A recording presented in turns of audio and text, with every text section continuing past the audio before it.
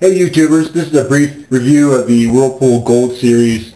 I wanted to cover a few things on the dishwasher, one its installation, uh, how it is towards, towards the front as, it, as you look at it, uh, and then its usage on the, on the interior. I'm pretty particular, I like for it to be functional. That's, that's probably the most important thing to me. I will sacrifice looks any day for something that is well thought out. The installation was pretty straightforward. The water connection is at the front of the dishwasher down at the bottom. Standard 5-foot hose was okay for me, which reached just fine. If you're a little bit further, that might be an issue. Be aware of that. But it doesn't come with the water hose uh, anyhow, so I recommend a braided uh, water line. Change it out as you need to. Let's see, it does come with the, the drain hose. It is on the left side of the unit. So that the length of that hose is just fine as well. The feet are four adjustable feet. They're not wheels. Some might have rear wheels so you can tilt it up, slide it in, and then adjust the front. This is uh, four adjustable feet. The uh, directions were pretty accurate in terms of measuring the height of the countertop, adjusting the feet, slide it in, and then you can level it off. I think for me it was an inch and a quarter on the back and an inch and a half on the front. It did have to lower the front a little bit to get it in because of my hardwood floors. As soon as I got it in, it leveled up just fine. Installation was pretty easy, pretty trivial as most dishwashers are, but I can't think of anything that uh, might be a gotcha. Next thing is, is the, the front here. I have used this a few times. I wanted to make sure I understood how the unit functioned, how it worked, how well it ran, whatnot, before I gave it a review. First thing I want to point out is along the front, you have the handle, of course, to open the unit, and as it's down, you might use a hand to lift it up, which causes a lot of fingerprints, a lot of gunk, a lot of grime build up out here, so you have to wipe that down quite frequently. The next thing is, is all the controls are along the top surface here.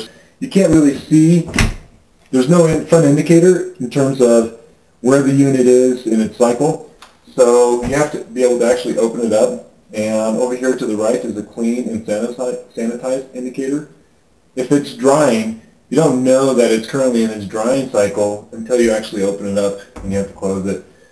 That is one big drawback. However, it's not a deal breaker again. Uh, let's see here.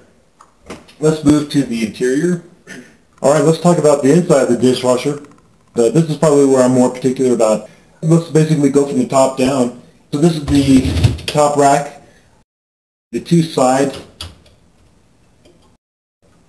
I just, whatever, the two sides fold down essentially, and uh, the left side does have a few plastic pieces here to actually hold up uh, maybe Tupperware lids or something to the nature.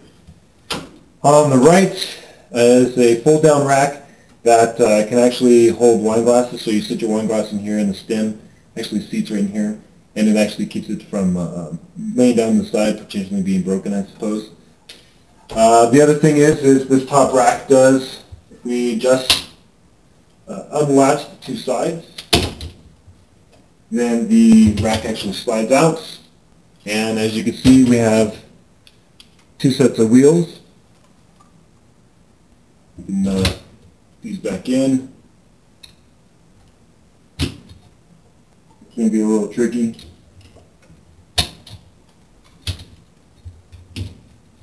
There we go. So that way you can get uh, larger appliances down in the lower half.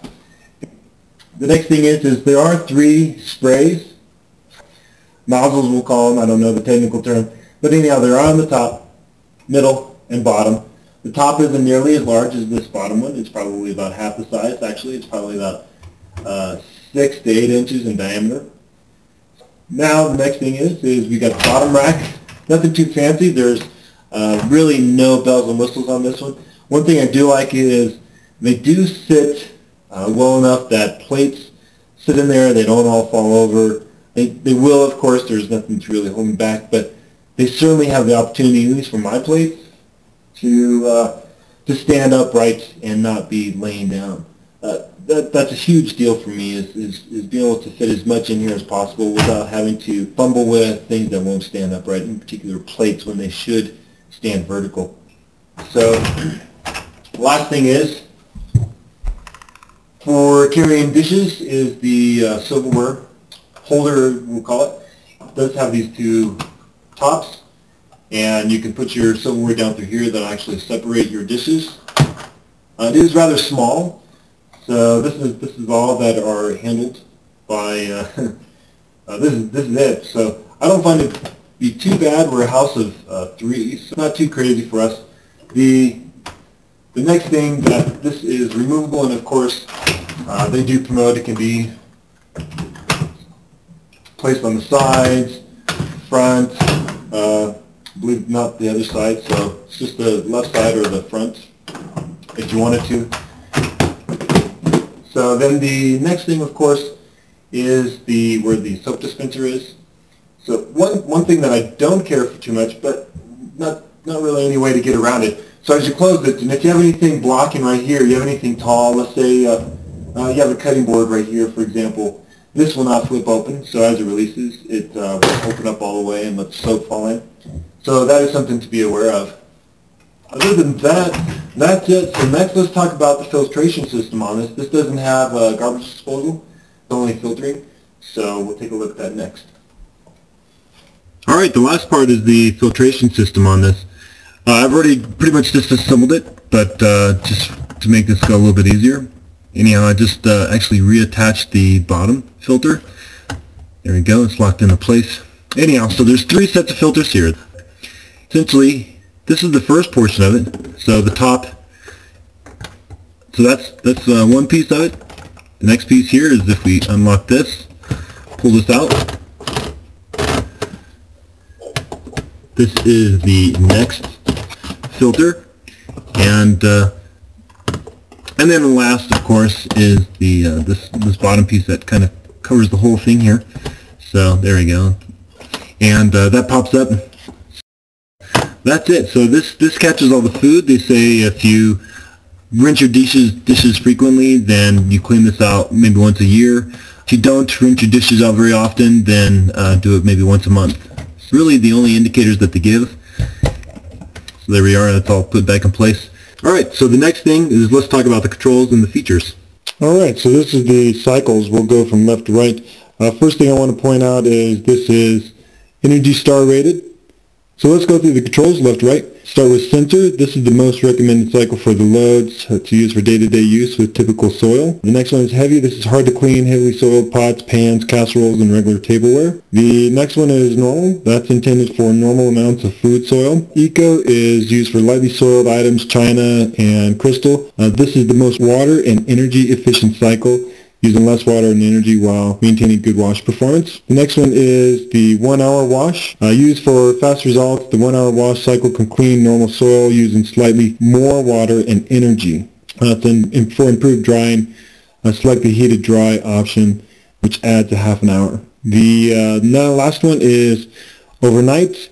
Overnight is used for loads with normal amounts of food soil. Uh, the longer cycle and therefore is ideal for run overnight. Uh, the longer cycle is to develop an overnight to save energy. The cycle has a longer soak time before the main wash begins. Alright, so next we'll look at the options. Basically from left to right again, top rack wash is for uh, smaller loads, slightly soiled. Basically just focusing on the top rack obviously. Next one is high temp wash. Loads containing tough baked on food. Basically increases the water temperature and the duration of the cycle. Then the next one is Sani Rinse. Sani Rinse is to sanitize your dishes, glassware, in accordance with NSF ANSI Standard 184 for residential dishwashers. I don't think that really pertains to us too much, so if it does mean something to you, then uh, you can read about it a little bit more.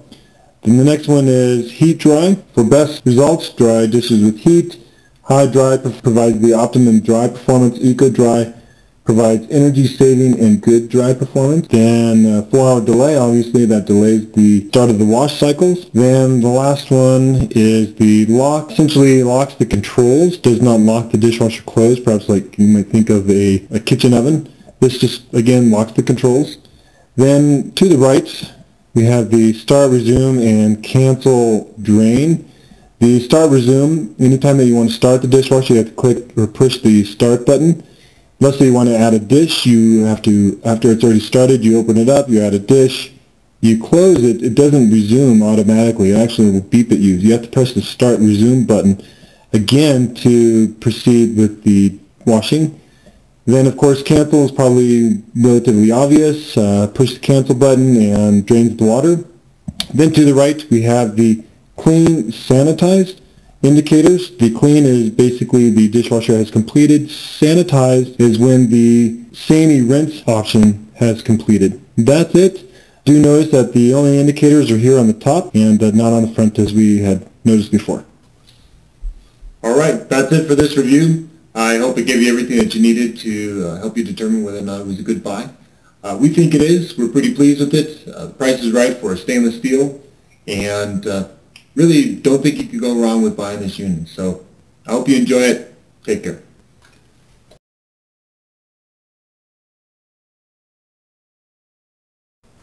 Hey YouTubers, this is a brief review of the Whirlpool Gold Series.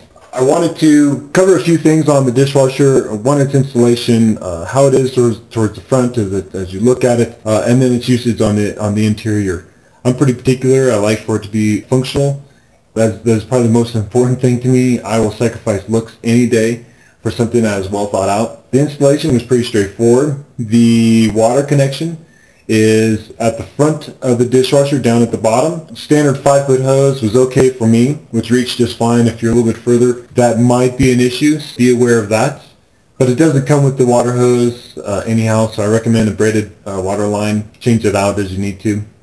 Let's see, it does come with the, the drain hose. It is on the left side of the unit. So that the length of that hose is just fine as well. The feet are four adjustable feet. They're not wheels. Some might have rear wheels so that you can tilt it up, slide it